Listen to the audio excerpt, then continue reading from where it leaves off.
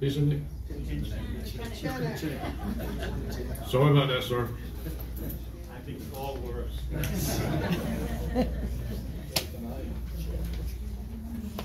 No problem. You're not as tall as Tasha.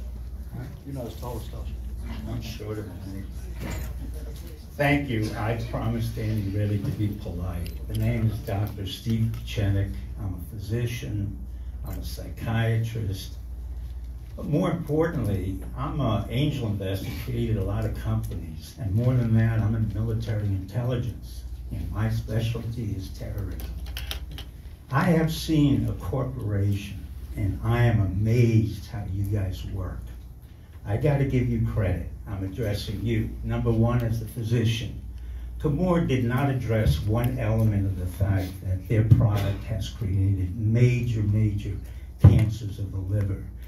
They have created such a disaster that these people know, and so does Chemours, that in two weeks from now, all of you, and I can invite you to go with me, will see a movie called Dark Waters, where a former lawyer from, from DuPont was asked to, to uh, litigate against uh, or DuPont and basically won a $680 million case. 680 million. That's nothing compared to what they're supposed to be getting.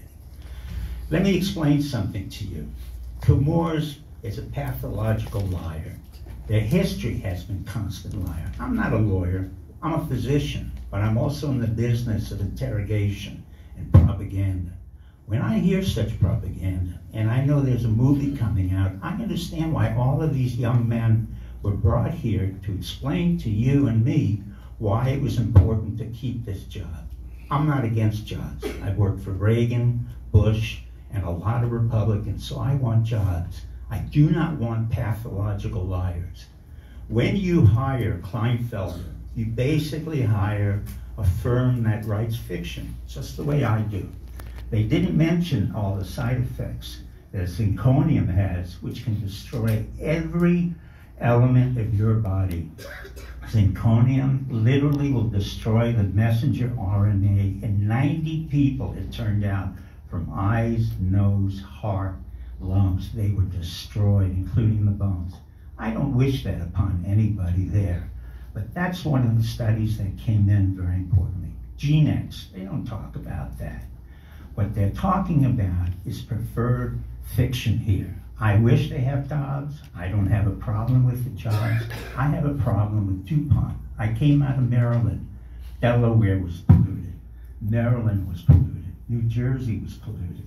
In Montana, we arrested one of the guys at Plum Creek for lying just the way they lied now. So I want you people to think about what we're talking about. You want a medical expert? We have one. Ruth Berkelman. She was the Assistant Surgeon General of the United States. Thank you.